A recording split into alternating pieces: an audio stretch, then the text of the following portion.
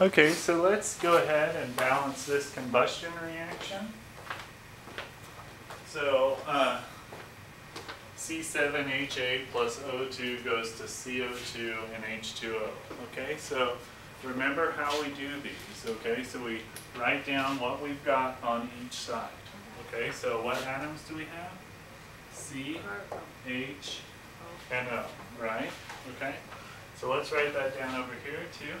C, H, and O, like that. Okay, so let's count. How many carbons do we have on this side of the reaction? Seven. Seven. How many hydrogens do we have over here? Eight. Eight. And just for fun, how many oxygens? Two. Two. Okay. So the first two we're going to balance over over here, and then we're going to get the number of oxygens and then rebalance them over here. Okay. So how many carbons do we have here? One. One. How many hydrogens? Two. Two. And oxygens we won't worry about right now. Okay. But it's okay, right? We have three. So one, two, and three.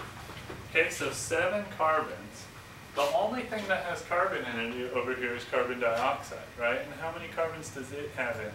One. One. So how many carbon dioxides are we going to have total? One.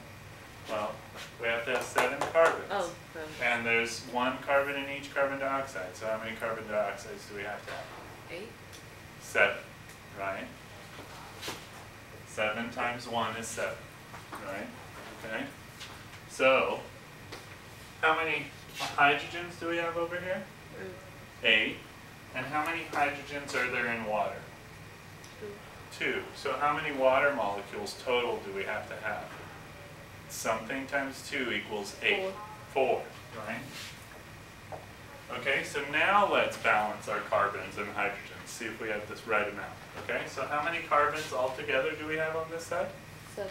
Seven. So that's the same as over here, right?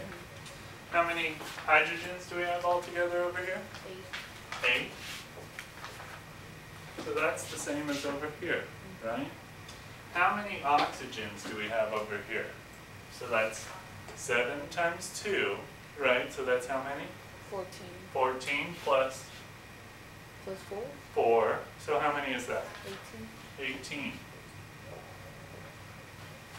So what times two equals eighteen? Nine. Nine. So we're gonna put a nine there, okay? So like that, okay? So we got seven, seven, check. Eight, eight, check. Eighteen, eighteen, check. Okay? So that's how you do combustion reactions. Balance your carbons and hydrogens on this side, then go back over here and balance your oxygens. Okay? Any questions on that one? Wonderful.